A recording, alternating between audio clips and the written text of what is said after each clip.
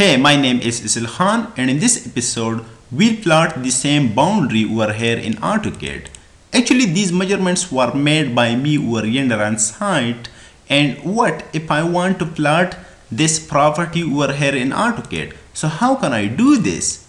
For this time, let me just import the same property picture uh, let's say wait a minute let's say I'm gonna import this over here like this one and then I'm going to do little unit setup. Let's say for example un and the command bar I can type.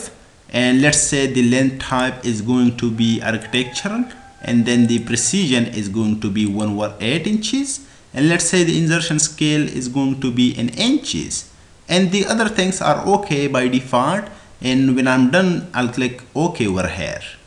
The next step is to choose a baseline. But this time let's say my baseline is going to be line AB in which I'm going to draw first and for which of course I can type L in the command bar. Let's say I'll specify the first point. Let's say over here this point and then I'm going to provide length to the line let's say 73 feet and 6 inches I'll press space and then space to end the command and then I'm going to type C in the command bar. And let's say I'll specify point B as the center of the circle. And for this time let's say 34 feet and 10 inches is going to be the radius of the circle. Then I'll specify point A as the center of the circle. And let's say the radius of the circle is going to be 81 feet. And let's say 4 inches. Now as you can see, these both circles intersect each other over here. So I'll join point B with the intersection point just like in this palm. It's okay. Now I'll erase these circles because I don't need them anymore, right?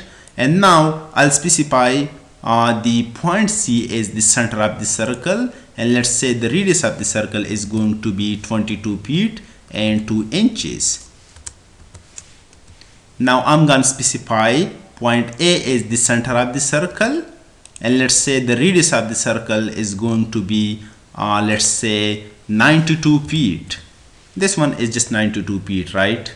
Now as you can see, I'll just uh, join the point C with the intersection point just like in this palm. That's okay. Now I'll erase these circles and then again I'm going to specify point D as the uh, center of the circle and let's say the radius is going to be uh, 28 feet it's okay.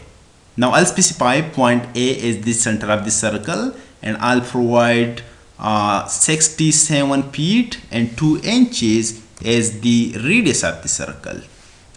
Now I'll join point D with the intersection point of these two circles just like in this palm as I'm doing. I'll erase these both circles. Now I'll specify point E as the center of the circle and let's say the radius is going to be 28 feet and 10 inches. And then I'll specify point A as the center of the circle. And let's say the radius is going to be 39 feet. That's okay.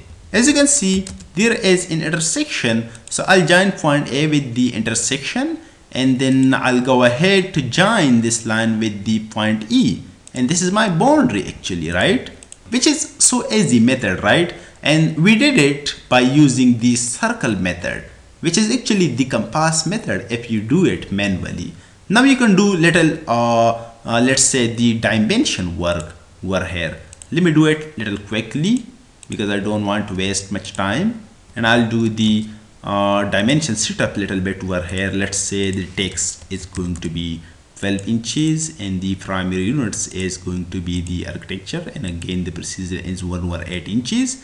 And let's say another thing the line is going to be red and the extension line is going to be green.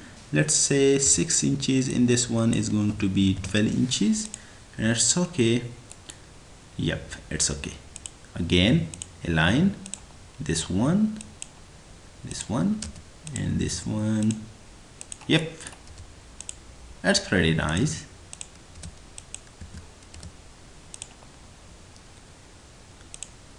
Which is completely okay, right? If you see it, and if you uh, make it little boundary by typing BO in the command bar, let's say I'll make it boundary. So this is a boundary.